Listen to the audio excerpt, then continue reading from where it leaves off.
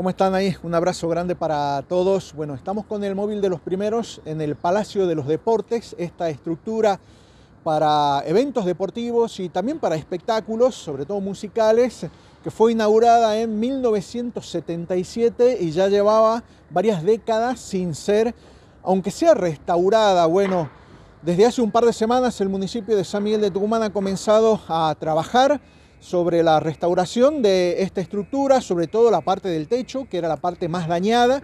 Eh, bueno, se han colocado chapas, cielos rasos, este, va a haber una nueva iluminación eh, LED, un nuevo equipo obviamente de, de, sonido y una restauración completa de las gradas que van o tienen la capacidad de albergar 5.000 espectadores. Bueno, ha hecho una recorrida el intendente Germán Alfaro más allá de hablar de todo lo que es la recuperación del Palacio de los Deportes, se ha dedicado a temas de la política, algunas respuestas para Darío Monteros, para eh, el gobernador este, Juan Mansur, Osvaldo Jaldo, habló incluso de que dice, no sabe nada de la futura estadía de Mauricio Macri en la provincia de Tucumán en los últimos días de campaña previo al 11 de junio. Bueno, préstenle atención a estas imágenes, incluso ustedes van a ver que ha tomado José Lo Gallardo con el dron eh, de los primeros para ver una vista distinta del Palacio de los Deportes.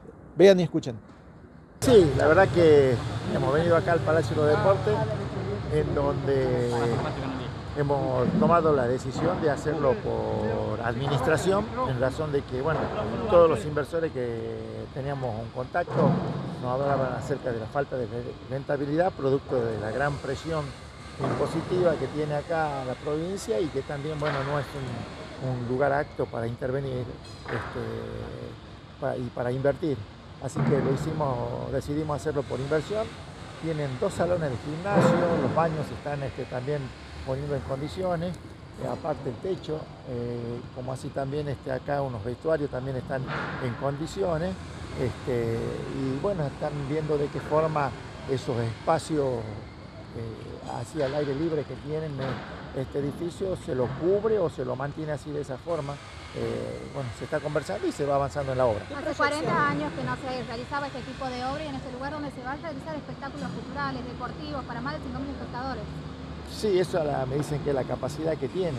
Así que, este, bueno, esperamos poco a poco, lo vamos haciendo y según las disponibilidades financieras que tiene el municipio, vamos haciendo. Ya volvimos sobre el techado y este, ahora están trabajando abajo en lo que significan los baños y en lo que significa este, los vestuarios. ¿Qué proyección se hace? ¿Cuándo podríamos ver eh, la refacción ya finalizada? No, no quisiera, no quisiera poner fecha ni, proyecciones.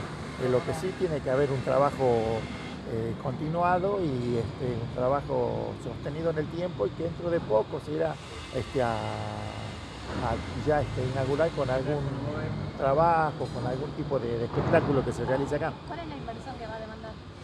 Es por administración. La inversión según las disponibilidades que vamos teniendo nosotros, este, financiera es el municipio. Pero si ¿Cómo está financieramente el municipio, intendente? ¿Cómo está la realidad económica del país? ¿Cómo lo golpea la provincia al municipio? Y sí, este, el tema de la recaudación es un tema importante, producto de lo que ya estamos en recesión y no hay consumo. Entonces, este, la recaudación no es la misma, pero bueno, nos no venimos dando mañas, por eso que tenemos también los márgenes como para realizar este tipo de obras y otras que estamos realizando, por ejemplo, en la calle 9 de Julio, que es un desagüe eh, pluvial, este, así que para regular la tenemos, pero este, pudiéramos estar mejor si, si, el país no estuviera ya en recesión. ¿Por qué se decide hacer esta obra en este momento? Hay quienes interpretan que como otros candidatos opositores prometieron revalorizar, ahora se le busca un rédito electoral. No, porque yo no lo, ni siquiera yo lo voy a este, inaugurar a esto pero no, nosotros teníamos inversores para este lugar y la situación económica del país ha llevado a que tengan un poco de temor, de miedo. Este, y hay algunos que venían y veían y decían que era la inversión que había que hacer eh, tenía poca rentabilidad. Bueno, en razón de eso y también la situación del país, el dólar subió, todo ese tipo de cosas, eh, bueno, nos hemos dado cuenta que traer un inversor y que haga, repare todo esto, y teníamos que esperar bastante tiempo. Entonces, si nosotros no teníamos premura por esto, eh, para que se termine, decidimos hacerlo por administración y poco a poco se va este, haciendo las cosas según las disponibilidades financieras que tiene el municipio. Lo cambio de tema, intendente, lo llevo al ámbito político, elecciones, bueno, los dichos de Darío Monteros en cuanto a su persona y a sus pedidos ante la justicia por el tema de las elecciones, las fechas y demás. No sé, no sé qué dijeron. Habido críticas por parte de él. Claro, ¿Quién? que usted atenta contra la democracia, que no respeta las fechas, la ¿Quién? constitución. No- Darío Monteros, Darío Montero. Banda del Río Ah. Salí. Se No habló lo sobre el tema de la fecha ¿No lo electoral y dice No. que en todo caso, este, lo dijo el gobernador también la semana pasada, dijo que lo que usted, lo único que saben hacer es evitar que se vote. No, la verdad es que yo estoy en otra cosa. No ¿Usted lo conozco, Montero, nadie. El pedido que ya ha hecho de que sean, no ¿Cómo se va a avanzar? Nosotros estamos trabajando. La justicia es la que tiene que decidir. Yo no, no me tengo por qué este, estar preocupando si la justicia decide o no decide. El hecho que estamos haciendo nosotros es trabajar, sencillamente. Ahora Ocaranza está denunciando ante la justicia que Acevedo ha nombrado 4.100 personas en comunas y que la mitad no residen allí. Y pregúntele a Ocaranza si él ha hecho la denuncia. Él debe tener documentación, me imagino. Si él ha hecho una denuncia, tiene que tener documentación. Y el oficialismo dice que la municipalidad está obstruyendo la obra del registro civil. ¿Qué se le contesta?